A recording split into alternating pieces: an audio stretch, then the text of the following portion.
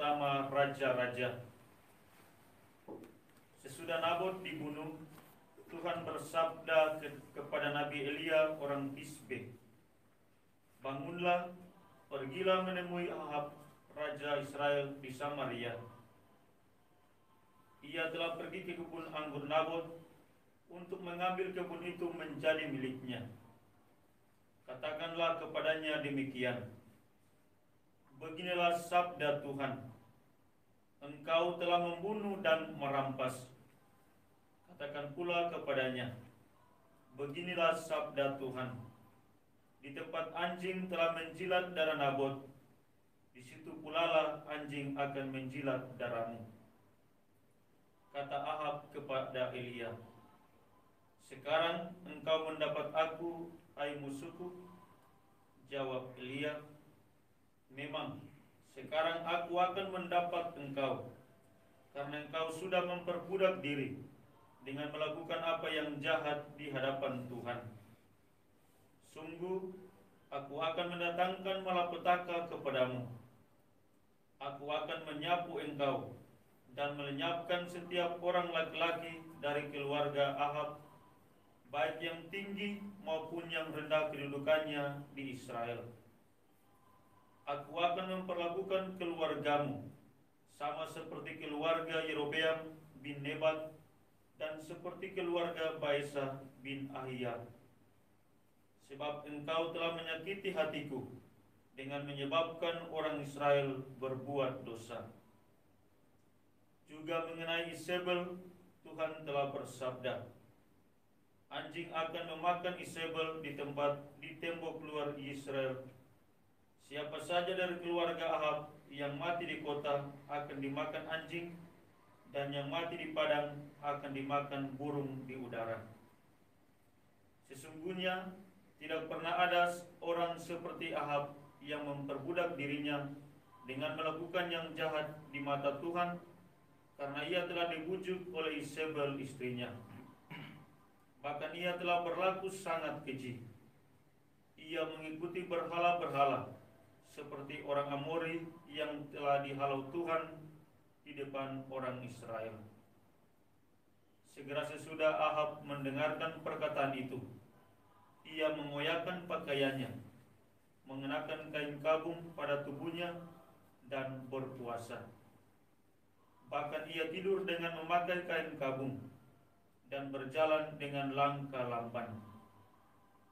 Maka bersabdalah Tuhan kepada Elia orang Tisbe itu, Sudahkah kau lihat bahwa Ahab merendahkan diri di hadapanku? Oleh karena ia telah merendahkan diri di hadapanku, maka aku tidak akan mendatangkan malapetaka dalam zamannya. Barulah dalam zaman anaknya, aku akan mendatangkan malapetaka atas keluarganya. Demikianlah sabda Tuhan. Syukur kepada Allah. Mazmur tanggapan dengan refrain Ya Tuhan kasihanilah kami orang yang berdosa ini Ya Tuhan, kasihanilah kami orang yang berdosa ini. Kasihanilah aku ya Allah menurut kasih setiamu Menurut besarnya rahmatmu Hapuskanlah pelanggaranku Bersihkanlah aku seluruhnya dari kesalahanku Dan tahirkanlah aku dari dosaku. Ya Tuhan kasihanilah kami orang yang berdosa ini. Sebab aku sadar akan pelanggaranku. Dosaku selalu terbayang di hadapanku. Terhadap engkau, terhadap engkau Sendirilah aku berdosa. Ya Tuhan kasihanilah kami orang yang berdosa ini. Palingkanlah wajahmu dari dosaku Hapuskanlah segala kesalahanku. Lepaskanlah aku dari hutan darah Ya Allah penyelamatku. Maka lidahku akan memasyurkan keadilanmu. Ya Tuhan kasihanilah kami orang yang berdosa ini. Baik pengantar Injil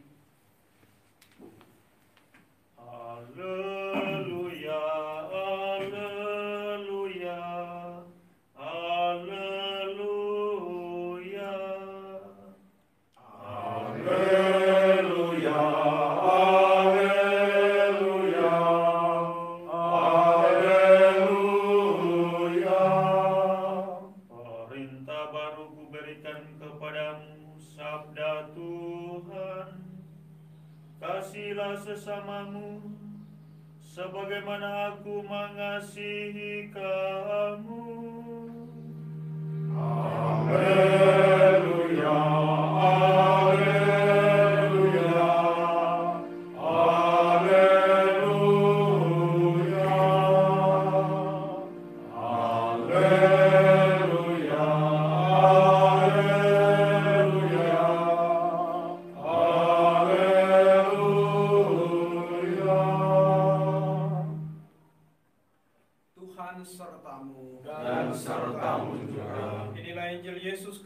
menurut Matius. Dimuliakanlah Tuhan. Dalam khotbah di bukit Yesus berkata, Kalian telah mendengar bahwa disabdakan, Kasihilah sesamamu manusia dan bencilah musuhmu. Tetapi aku berkata kepadamu, Kasihilah musuh-musuhmu dan berdoalah bagi mereka yang menganiaya kalian. Karena dengan demikian kalian menjadi anak-anak Bapamu di surga. Sebab ia membuat mataharinya terbit bagi orang yang baik, terbit bagi orang yang jahat, dan juga bagi orang yang baik. Hujan pun diturunkannya bagi orang yang benar dan juga bagi orang yang tidak benar. Apabila kalian mengasihi orang yang mengasihi kalian, apakah upahmu? Bukankah pemungut cukai juga berbuat demikian? Dan apabila kalian hanya memberi salam kepada saudaramu saja, apakah lebihnya dari perbuatan orang lain? Bukankah orang yang tak mengenal Allah pun berbuat demikian? Karena itu, kalian harus sempurna sebagaimana Bapamu di surga sempurna adanya. Demikianlah Injil Tuhan. Terpujilah Kristus.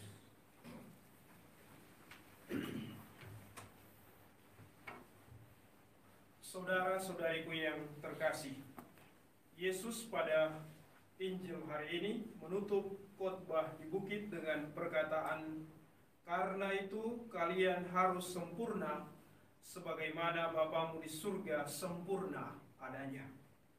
Yesus menginginkan kita semua setiap hari belajar untuk semakin menjadi sempurna sama seperti Bapa di surga.